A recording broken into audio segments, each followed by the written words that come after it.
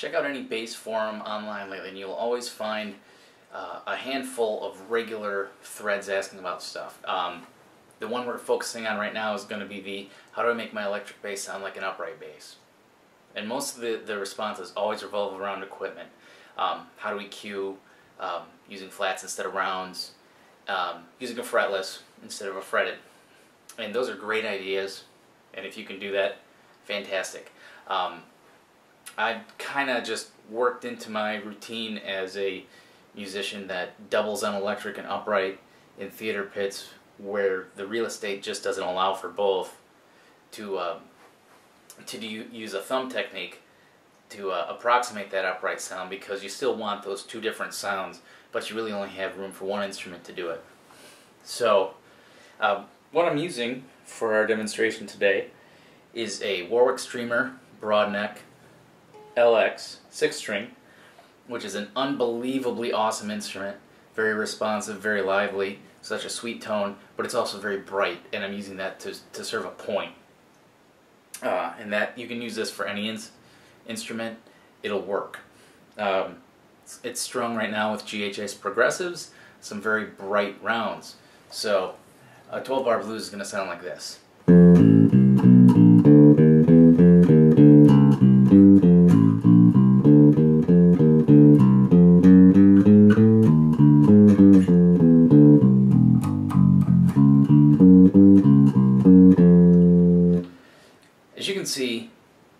Very bright sounding bass.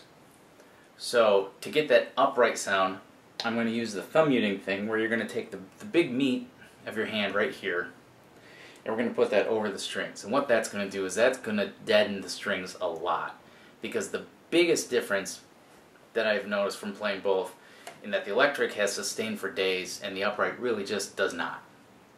And that's the problem even if you just switch to flats, if you just use a fretless, you've still got that sustain that you really got to get rid of. So the first half of this thumb muting by just by just muting it there with the meat of your hand is going to fix that. The second part is by playing with your thumb, you have a lot more meat hitting the string. Because normally, you know, electric bass players, we're playing like this with our fingers or using a pick, and you've got just this little piece that's hitting the strings. Upright players, when I'm playing at least, you're going like this. You've got at least, you know, a knuckle or two there of, of your finger that's actually going to be hitting that string. It's going to produce a bigger sound. So, by just doing that, the 12 bar blues is going to sound a little more like this.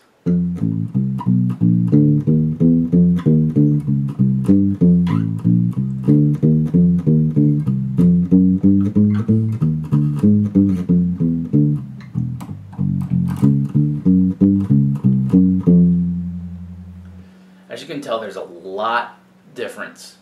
Um, that sustain's gone. You know, you're not sitting here going.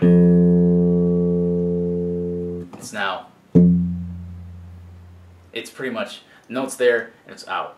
Um, much rounder tone, much closer, at least to the the feel of the upright, which really is is more important than the sound. You really need that feel of it. It's kind of that, kind of like that same thing that we always joke about. You can always tell a guitarist that's playing bass because they don't have that feel. It's kind of that same thing. Uh, you really want that feel of the upright over the actual tone.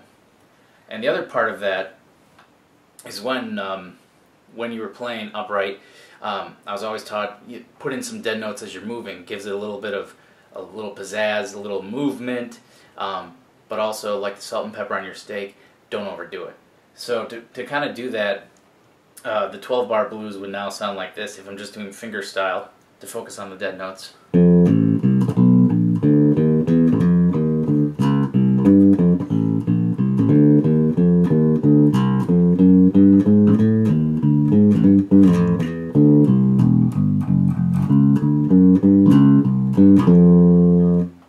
And what I try to do with this a little bit is I'll work in my index finger to try to get more of a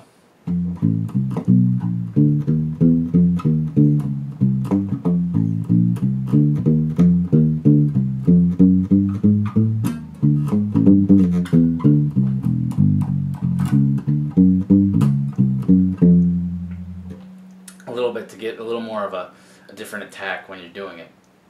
And then the only other thing that I, that I actually still do when I have time, um, there are switches when you just, there's no time to do it, but um, I try to work it in as much as I can because it just cleans it up a little bit more, is um, I use one of these great fret wraps from Gruv Gear. Um, I put it down on the, uh, right there, and maybe at the half fret position, so I can still get to everything, but as you notice, it's pretty much as opposed to it really deadens it to make uh, to make it a little easier because you know when you are playing upright like this this hand really is muting the whole thing whether you know it or not. As you're moving around this hand's got everything there. And so you can't always do that just in the position of an of an electric. You can't sit there like this the whole time. So that helps a little bit more just for a, a, a little more control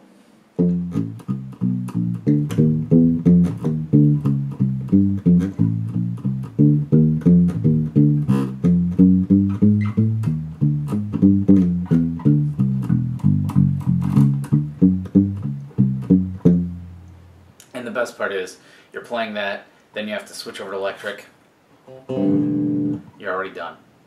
So um, that those would be my options and suggestions I'd say for somebody that says, how do I make my electric sound like an upright? Is work work on the technique. Um, again, you know, if you want to use flats, great. If you want to switch over to a fretless, that's great. If you want to EQ some stuff out, that's good too. But at the same point, um, you really need to know the nuances of the upright bass to make it sound more convincing than just an electric player playing an upright. So um, have fun, learn something new,